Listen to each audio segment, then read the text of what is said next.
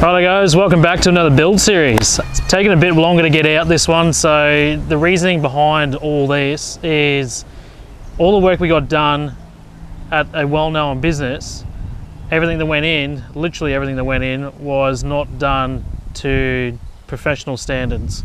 So we had a lot of issues, a lot of problems, and tedious things that came out of this, which were really, really annoying. They weren't uh, ideal, but um, we got through it. I'll run through all the little things that we got uh, added at the business and yeah, we'll show you what we got. So what we've done in the rear end, we've changed the coils out and we've put airbags in. So the coils, we've gone with the Pedders TrakRyder coils. So they're basically a heavier duty sort of coil that they use for the GVM upgrade. So it's at the higher end of, of sort of, you know, sturdiness. So we've got them in the back and then we've got Airbag Man suspension. So we got the sleeves in there, which are working absolutely phenomenal. They're, they're great setup. We had them in the Ranger, as most of you know. Um, and even from the Ranger to this, before having them and then after having them, it just changes everything. Like the ride quality is so much better. It's great because inside we got the little remote, so I can remotely put them up and put them down with a little dial that tells me what the PSI is. So I run them at about probably 50 a PSI and that seems to level the car out just really nicely and gives me a good ride. So with the Patrol, if you know, they're all wishbone suspension, so they're all independent. So a big thing with these is you have to have every single corner uh, looked at for when you do your wheel alignments.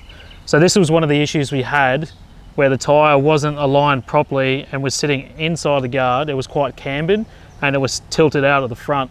So that gave us a lot of grief and a lot of problems on dirt roads because it tried to crab. Um, but it has now been fixed. It is all flush. It's like it was when we got it off the showroom floor. So I'm no uh, alignment expert, but for me, common sense wise, after getting it all realigned properly, what we decided to do was to camber them out just slightly because obviously when that caravan goes on, it's going to bring them back down and really align them properly. So you don't want to be chewing insides and outsides of your tyres when you've got the caravan on or the caravan off. So we've gone for that setup. So far, so good. Going forward, we, uh, we hope that that keeps itself together and we can get the life that we want out of these, these new tyres. For the 4B fit out setup that we have, we've got a couple of pigeonholes either side. So on this side, we got smaller pigeonholes, so we've got little doors. So I like to put a, all my small gear in there, and then on the other side, it's actually a lot larger, and they're open-ended, sort of, they, they, don't have lids on them. So I decided to put the Airbag Man compressor system on this, on this side here. Um, simply just, for there's no lid on top, I could put one on later, but it allows me to access what I need to, especially with uh, pumping up tires and using the, the, the, the airline itself. So it all fits in there like perfectly snug. Like it's even got a slightly bit of room on either side so you can really sort of play around and jimmy things if you really need to. Uh, so that's in there and I've got the connection for the hose literally just at the top here. So it's almost flush with the top there.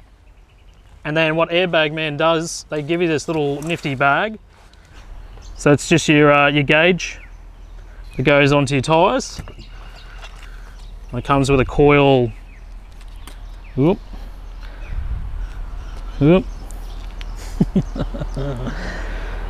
so it comes with the coil uh, hosing, which reaches quite a fair way, but not quite enough for uh, our caravan being so long. So I might have to uh, get an extra one or something somewhere down the track. And also too, I found out while we're uh, up at the Cape, they give you a nice little bag and it's got a couple of attachments in there. So it's good. There's one there for balls, like soccer balls, footballs, that sort of stuff. They got some uh, thinner ones. So I had some girls come up to us at Elim Beach and they had a blow up mattress and they didn't have a pump with them. And uh, they came over and asked us for help. And then I was like, oh yeah, I got a couple of attachments in the, the actual airbag the system. So I threw on one of those attachments straight into the bloody mattress and yeah, within about 15 minutes, the whole thing was blowing up. So it comes in handy, definitely comes in handy. So compressors in the back. I got my hosing in the back here with my gauges. And then inside the car, which I'll take you in a second, I'll show you the manual side of it with the remote and the gauge that sits inside my cigarette lighter. Here's the fun part. This is probably my most favorite bit of the whole everything we got set up and put into the car is the airbag man remote system. So this is the little remote that comes with it. It's just got a little slidey lid on it. It's uh, two big buttons two little buttons. So the big one is to pump up and the little one is to pump down and I've got the monitoring system which literally just it just plugs in your cigarette lighter like it's that simple. And you can adjust it to obviously whatever it suits you and where you can see it. So at the moment they're at uh, about 9 psi a bag. So left and then right. So basically if I just want to pump them up it literally takes seconds so I'll just pump the left up look at that 46 psi with like three seconds or two seconds of pushing that button and you can probably hear the the compressor in the back of there kicking in. And put the other one up. So you can see how quick that is. I've been told that you can slow that down with a valve that can be put into the system that slows the airflow in. So you can literally just sit there a little bit longer and really get it to where you want but being the first time and just the way it was and I have been using it since it's just become an, an everyday ordeal for me. So it's it's I'm quite used to it now and it is literally within seconds. So it's a great little system. I just leave this up on my uh, sun visor and on the driver's side there and just pull it out when I need to hitching and unhitching. I'll just put them back down again.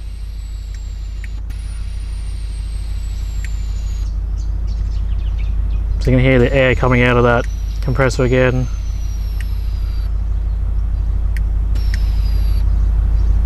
Back to uh, 10 psi. Biggest one for us was the Tow Pro going into this car because unfortunately we didn't have it in the Ranger. We should have, legally we should have, but we didn't. So now having this in the new car, it's been a new experience for me and learning how it works and how it doesn't work. Um, but the big issue, what happened with this one, was it wasn't wired properly when it went in. So I never had the full potential of it even after it was put in professionally. So it was quite sketchy and hairy at times uh, but we got through it and we survived which was grateful. Um, but yeah so it's located down here at the front. It's just in one of these little with the patrols you got heaps of little options here for buttons switches. You got more over the other side here but it was a great spot for me to be able to look at it visually while I'm driving and to see when it was working and wasn't. Um, if I ever needed to push it, it's literally there at my fingertips. I can just give that a quick, quick flick. Um, but yeah, so that's a really nice upgrade to have. This is a, a legal requirement for any braked trailer that weighs over 750 kilos. So anything underneath that, you don't need one of these. If you just got a little box tray and you're running down to the dump and things like that, not an issue, but anything over 750 kilos legally, you do need a tow pro. So it's just a safety thing, it's a regulation, and it's just a part of the law. Uh, the next thing on the list was we got we had a seven pin uh, trailer plug on here originally, but we opted for the 12 pin. So they changed the 12 pin over, and we got our two Andersons in there obviously for the caravan, which is one's for charging, and then one's for ESC, electronic stability control. Um, so just your standard Anderson plugs, 12 pin. But the funny thing was, when we first got this installed, um, we hooked up the caravan and we were reversing into one of our first locations heading up to the Cape. And it wasn't until Sean was behind me and she looked at it and said, is your reverse lights working? And I was like, well, it's in reverse, it should be. And then we played around, we had a look at the wiring and a few other things. And apparently after all that investigating, patrols, I don't know what other models do it as well, but they don't have a reverse wire in their plug. Never knew that. I just thought it was like a standard straight across the board uh, setup. So you learn something new every day. In saying that, it's actually not a legal requirement to have a reverse. And it wasn't until I noticed or found out about this information and started looking around a caravan park and like well probably 80 90% of caravans actually don't have reverse lights so I almost feel like we don't need them on our end as well, but they're there, but they're never going to work anymore now because we don't obviously need it, but then we don't have it either. So yeah, fun fact for you, no reverse on patrols or most caravans. Probably a lot of people knew that, but I didn't know that. Another big thing that happened for us was when we left Cape Tribulation up at Daintree.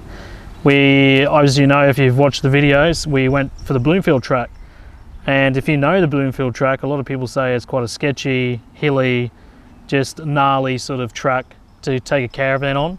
So for us, we want to make sure that everything was 110% before we did that. But just five minutes before, well, literally five minutes after we left the front gate of Cape Trib, we had the TowPro completely, you know, kick out on us. It was flashing red, and then we checked the car, the caravan, and the ESC was red. So we had no ESC and no brakes. So talk about being even 10 times more nervous than what I already was, uh, literally leaving to go up the Bloomfield track. So what we did was I opened the bonnet and checked off the fuses, wiring, everything I could possibly check. And what I found was one of these main wires here for the Anderson plug for the ESC was actually just hanging out. We fixed it all up, we jimmied it all up, and it actually lasted the whole trip, all the way to the Cape and back, which was very, very good. It's not the business's fault. I'm not pointing fingers at anybody. Um, it just really came down to the person on the day and the job that they've done which was unfortunate. We're lucky that uh, we got through such a full-on trip, being up at the Cape of all places. We came back uh, happy and alive. Um, but yeah, again, the business has been really good at uh, resolving all these issues and they've really gone out of their way to um, ensure that we are now happy and everything is working 100%. Righto, last but not least, the Rhino rack. So this was a, a big one for us. We haven't had like a proper platform before. Um, if you've seen the Ranger before, we had uh, just your single Kings ones, just normal runners for your roof racks. So to have a platform has been really, really handy for us. Um, it's not only good for obviously Maxtrax, we got a spare wheel up here and I've got some uh, other pieces over here that I've put on so I can strap down timber and stuff, which was really handy up at the Cape. Um, but the, yeah, this is the Pioneer platform from Rhino Rack. So it was a really good system. We are very, very happy with it. As you can see, it's quite strong. So anyone that doesn't know for the stats, uh, when you're stable and not moving, you can fit a fair bit of uh, kilos up here. Uh, but then when you're actually moving, it does drop down. But I'll throw some uh, stats in just over here and I'll explain all that for you.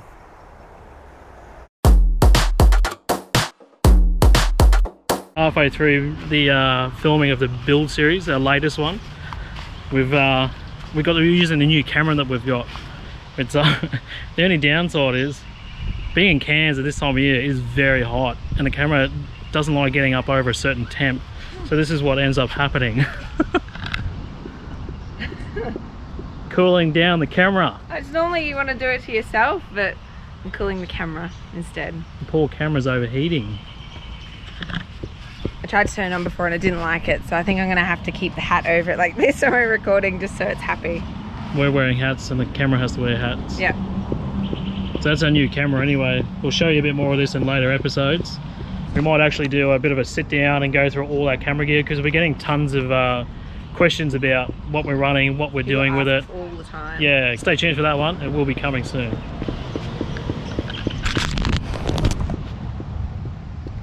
it good? Yeah. You can taste it if you like. I'm Here, go, Pro, taste it.